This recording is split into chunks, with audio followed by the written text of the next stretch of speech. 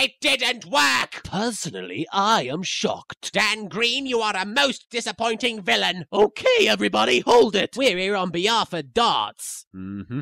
Frig! Who let all these nerds in here? Well, it is an anime convention. What the f do you guys want? We're here to deliver a message from our master. Yes, apparently we have to do you. Do me? Yeah, it's kinda weird. It's also never gonna happen because I'm not gay.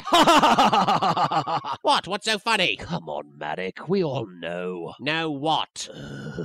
Yeah, we know. Yeah, we know. I definitely know. Know what? What the hell does everybody know? Marik, I believe it's time you came out of the closet. Oh, what? Just because a guy likes to dress effeminately and hang around with another extremely attractive man and read yaoi and flaunt his gorgeous abs and stroke a phallic symbol suggestively in every other scene, that automatically makes him gay? Kinda. Yeah, kinda. Yep. Ah, you're all pricks. Well, then, no wonder you like us so much. Ah, I am 100% straight! Honestly! So can we do you now? Get out of my hotel room!